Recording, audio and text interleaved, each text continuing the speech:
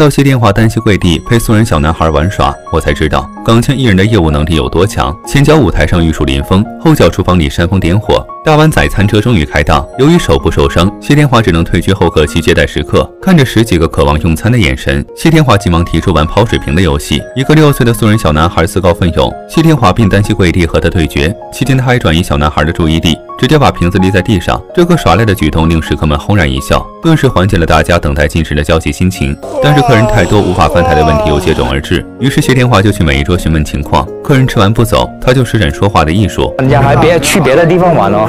对啊，我就马上了，因为我那他耽误那个时间就不好了。我当然希望你们有机会再来了。到了下一桌，他又用关爱的话语温柔地劝走了一对会不会去哪里看戏啊？什么有什么活动继继续？呃，还有这里风比较大，我们这着凉了。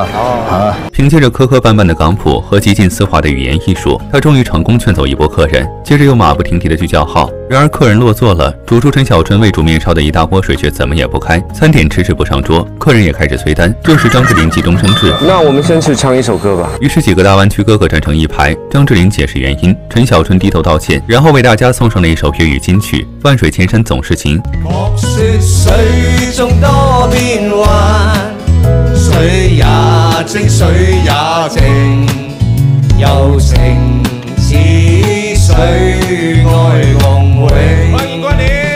唱完一首歌，陈小春又赶着去煮面，其余三位哥哥工作起来也是不遗余力。周柏豪和林晓峰忙中带粉，上菜擦桌子不在话下。吴卓羲埋头做菜，保证食物供应。顾客不满，他就送菜以表歉意；顾客夸奖，他也会再送一份以表谢意。